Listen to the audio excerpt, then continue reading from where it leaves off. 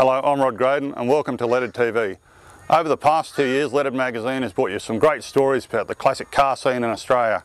But now we bring you up close and personal with the cars, the racing, the club events and the unique characters that get behind these scenes.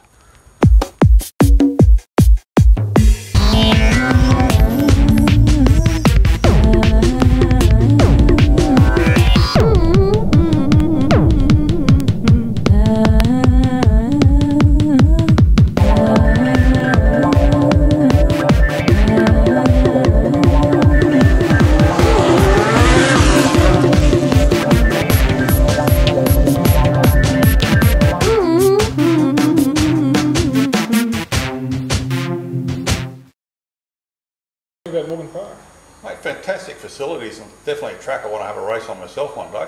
When's the next event out there? Uh, next event is uh, coming up in August, 9th and 10th. What's it cost people to attend the weekend out there? Uh, well, next one will be uh, $30. That's for the weekend ticket. And I think under 14 is uh, free. Well, there you go. Don't miss the action out there on that weekend.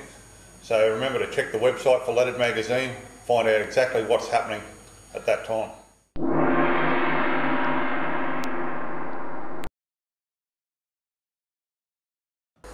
I'm here with Dion Johnson, the owner of the racing room at are you, Dion? Very Welcome to Leaded Magazine around the Bowser. Thank you. Mate, I had a walk around here before, just fantastic. Car memorabilia, everything related to a car. How did it all come about? It's a lot of fun. It's um, I started off as a, as a hobby business. Like everything that you see and, and have seen is used to be based around my house. So my wife's now very happy that it's out. Um, it's got a, a home. But all the fun things to do with motorsport and cars in general is, is what it's all about. So what can people get when they come down here? Anything and everything. Uh, the only products we sell are products that we have used or, or do use in, in the workshop. Uh, good quality products, brand names, things that people can, can recognise, um, and products that we know are going to work. Yeah, I see you've mainly got top end products in there, so you cater for European style vehicles and American vehicles. Absolutely. Wh- While we can work on, on everything, um, we prefer to, uh, to look after the nicer cars.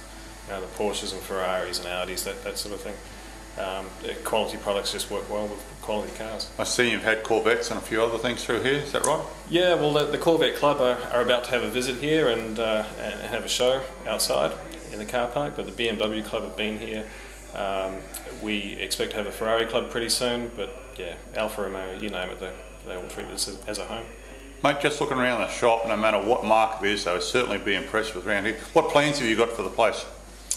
The plans are pretty much to carry on as it is now. Um, we've got a few new products coming in. Uh, Oakley Racing Division are coming in here. Very excited about that. Um, but I'm trying to create a lounge atmosphere as well as a shop at- atmosphere. So uh, while it is a place to come and buy things, you're welcome to come out and play on the simulator, have a game of pool, just hang out, read a book, watch DVD, whatever you want to do. It's, um, uh, it's just a, a nice place to be. So if you've got an interest in exotic motoring, come see the racing room, relax in the round, and catch up with people with similar interests. Absolutely. So there you go. The racing room has everything for the motorsport enthusiast, from the parts to the atmosphere to the enthusiasm of the staff. Check out all the information www.theracingroom.com.au and it's located at Brendale on the north side of Brisbane. After a chilly night in Warwick, we headed across to Toowoomba the next morning for the David Hack Memorial Classic. This event, hosted by the Rotary Club of Warwick, is held at an airport just west of Toowoomba. It combines a great assortment of vehicles plus aircraft from the past. You're not going to show a photo of that poor old Saab. I certainly am. Here it is, Saab 900 Turbo.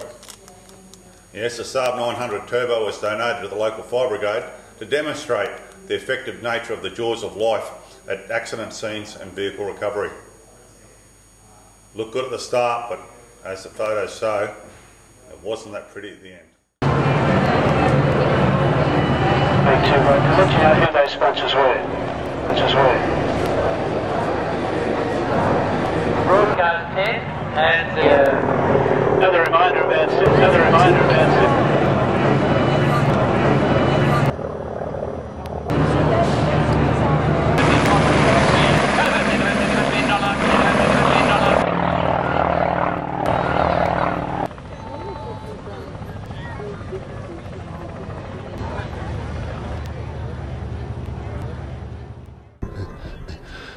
We're here at the David Hack Classic at Toowoomba with me is Colin Schiller.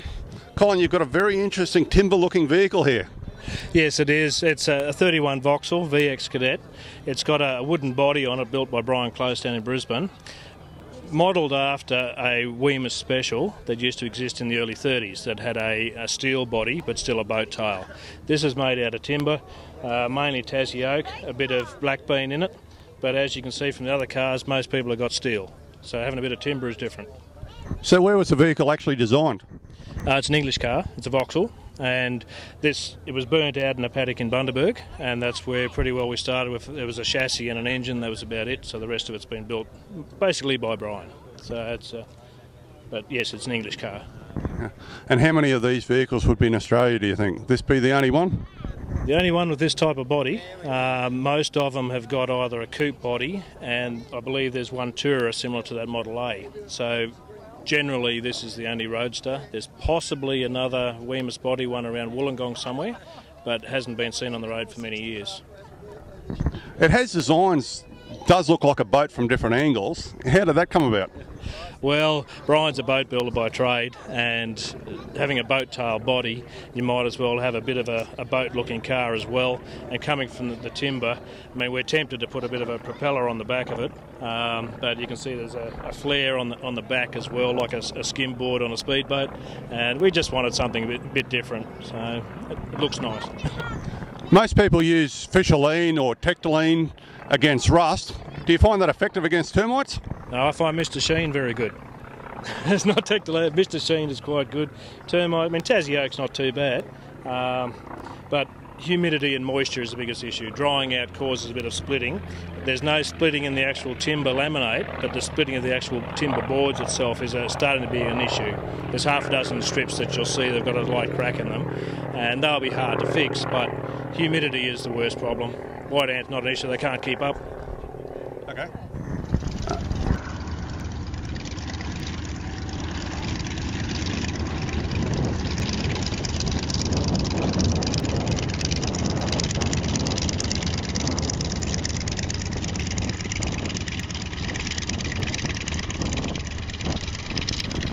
And standing here with uh, Graham Allen with his Model A Ford. How are you, Graham? Um, well, thanks, Rod.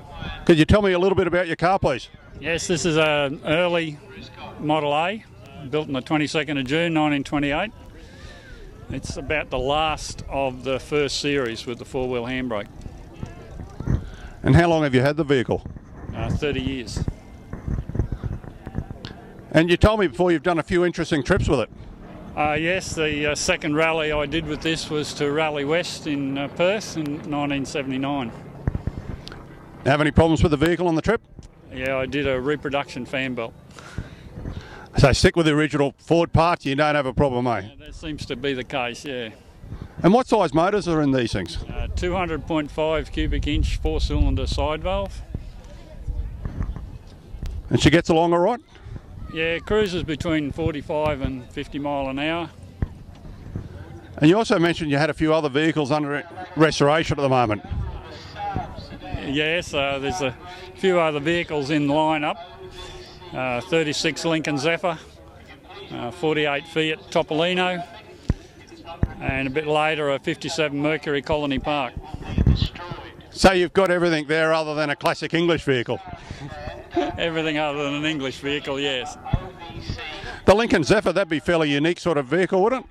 Uh, yes, uh, the 36 is the first year of the Lincoln Zephyr, which is a V12, uh, first of the cheaper Lincolns, uh, built to a competition for a Packard 120. And how long before that's on the road, do you think? Oh, be a few years yet. There's a couple other projects in the way. Oh, we look forward to seeing that. Uh, thanks for talking with us at Leaded Magazine. No worries. Thanks, Rod.